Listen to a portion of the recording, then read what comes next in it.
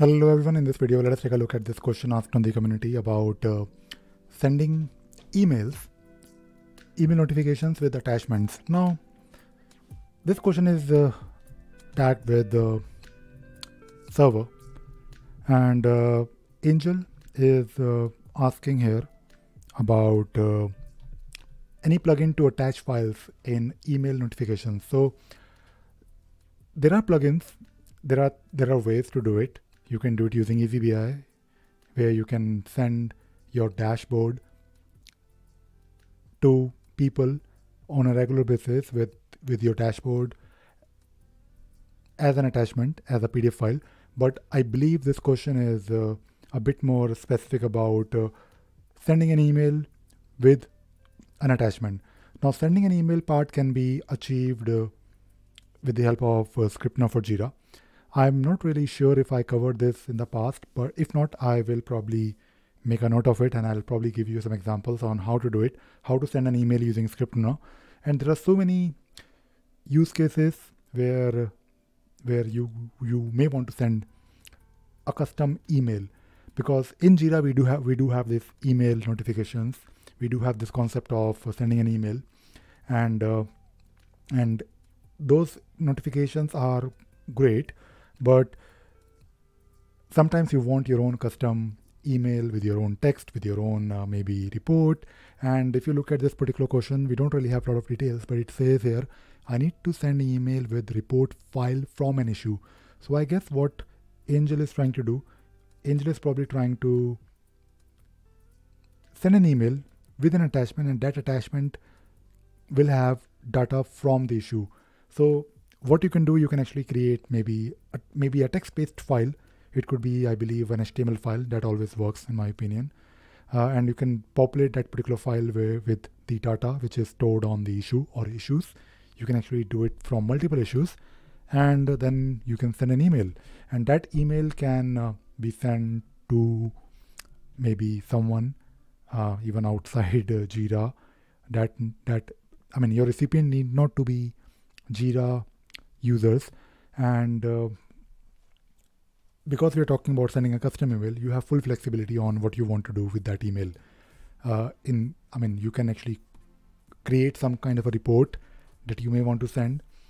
Uh, and not only you can create your own attachment a text text based attachment because if you're creating a text based file you don't really need any library uh, to do to basically create uh, a file. You can actually just dump everything in a text file and then send it to someone. But using ScriptRunner, you can also pick up your attachments that are stored on your uh, issue. So that can also be done, also be done. And by the way, I'm just you know trying to share with you, with all of you, if you're watching this video, that in case you want to learn ScriptRunner for Jira on server and even on cloud, to be to be honest, uh, I do have like two courses that you can do. They're of course, know, I mean, I'm just using the word course, but they're not nothing but a set of videos with code examples. So just take a look at, uh, I mean, go to my website, then go to courses, and then click on either Mastering ScriptRunner for Jira or click on Mastering ScriptRunner for Jira Cloud, and you can basically take a look at these videos. I am uh, sure I did talk about uh, attachments and I'm not really sure if I ever covered email or maybe I did. Yeah, send an email. So I do have this video, send an email, where uh, I, I, don't really remember if I used a custom code or I used, I believe, uh, I, I, think you can also do it using a built-in post function. Um, but you can always you can always write your own code in case you have to.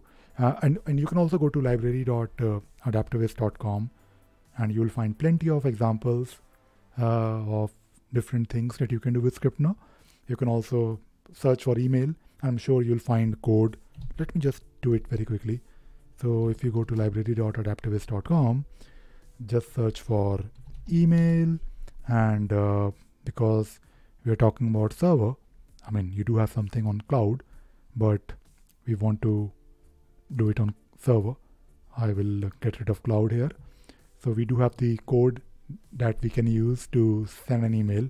And in this in this email uh, in this code basically you can actually also configure uh, to also attach a file that people will receive as, a, as an attachment.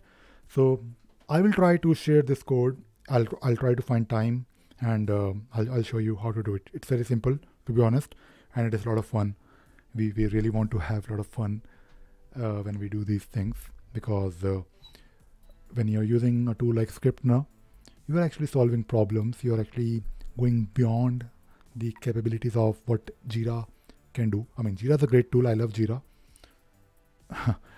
and uh, and uh, you can do a lot of customizations. You can configure it to uh, to support your processes, but just like any other tool, Jira has some limitations. But those limitations those gaps are filled by apps.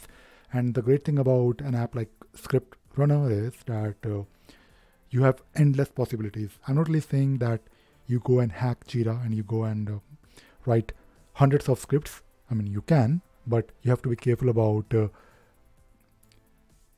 deciding whether you want to do it using scripting or maybe you want to live with the native functionality or maybe do a bit of scripting to support your process but don't overdo it. If you overdo scripting in your Jira instance, then uh, and of course, you know, if because we're talking about script, uh, when you when you run code, it will uh, consume um, resources on your server, and it can also cause performance issues. So, in my opinion, uh, if you have requirement of doing a lot of customizations, and you think you need to do scripting, of course do take a look at these examples. But if you are if you are if you are ever in doubt, then do contact a partner. Then uh, then you will definitely get proper advice. Maybe talk to Adaptavist because this is what they do. ScriptRunner is their product, so they will definitely be able to help you out with scripting and guide you. But in this video, of course, you know, I think uh, we are talking about a lot of things, but what I wanted to show you today and what, what I wanted to talk about is uh, sending an email, a custom email using ScriptRunner with attachments. Yes, it is possible. And you have the code here that you can take a look at.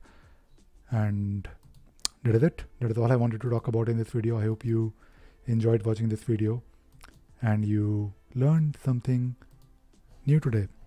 Thank you. Thank you very much.